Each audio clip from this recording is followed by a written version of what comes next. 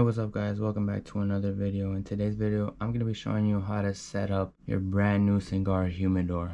Now pretty much all you're to need is distilled water and a napkin and the dropper that you got and obviously the humidifier. You're to get your distilled water and moisten your towel and just pretty much drag that towel around the wood. Now you don't want to wet the wood you just want that moisture to get around the wood. And so like I said don't wet the wood just a little moisture just let the moisture kind of soak up a little bit. Now since this is a digital hygrometer that's on the side I did remove the little sticker that it had so the batteries are now on. There's a reading for the hygrometer now so we can kind of start dialing in.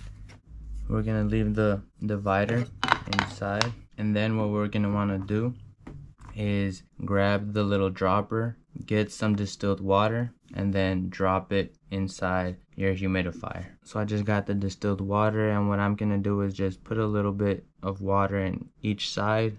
Just drop little droplets all right so now that, that the water has completely absorbed into your humidifier, you're to want to put it in your humidifier.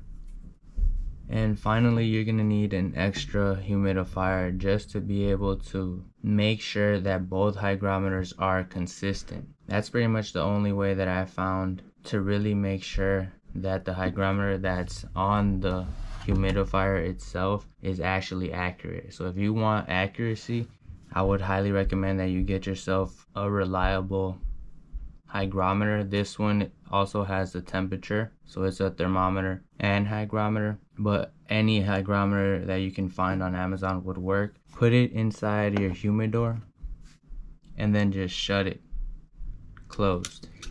So now you're going to be able to see how accurate the hygrometer on your humidifier actually is. What you basically want is a consistent humidity of about 65 to 75 percent. And so as you can see right now we're at 75 which is pretty good. The only thing is we need to make sure that the hygrometer on the humidor is consistent with that one.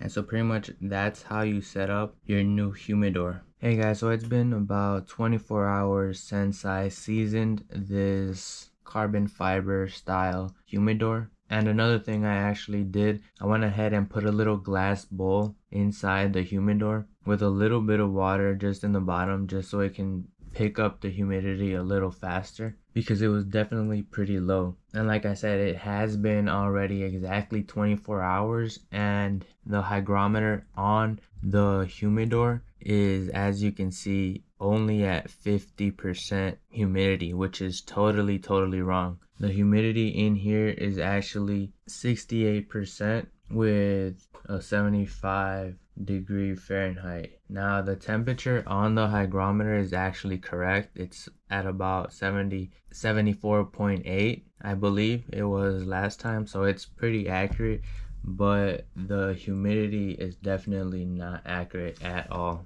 as you can clearly see and it has been going up slowly but very very slow. I think it started at about 42% humidity and it's been climbing within the past 24 hours but it's obviously nowhere near the correct percentage. And so what i'm gonna do is i'm just going to keep it closed let the humidity keep rising on the hygrometer and hopefully it gets to the correct percentage.